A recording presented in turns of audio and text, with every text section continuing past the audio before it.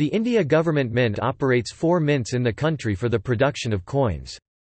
This move proposed by PM, is estimated to save 20 billion on currency transportation costs over the next five years. The other mints are in Mumbai, Maharashtra Kolkata, West Bengal Hyderabad, Telangana Noida, Uttar Pradesh Under the Coinage Act, 1906, the Government of India is charged with the production and supply of coins to the Reserve Bank of India RBI.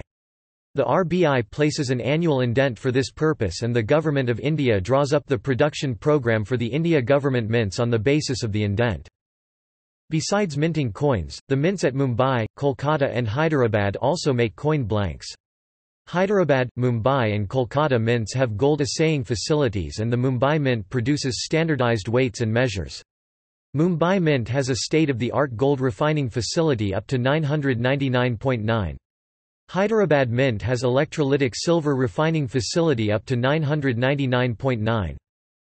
Commemorative coins are made at Mumbai and Kolkata. Kolkata and Hyderabad have facilities for making medallions, too. The Noida Mint was the first in the country to mint coins of stainless steel. Marks on mint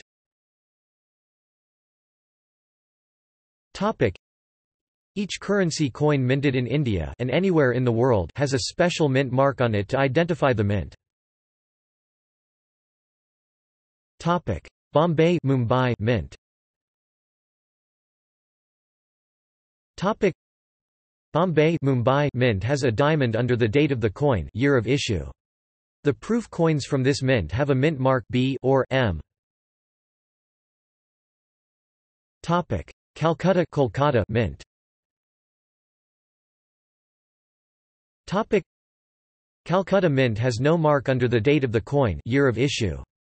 Or it has a C mark. It was unique because it had not chosen any mark Hyderabad Mint Hyderabad Mint has a star under the date of the coin year of issue. The other mint marks from Hyderabad include a split diamond and a dot in the diamond. Noida Mint Noida Mint has a dot under the year of issue coin date.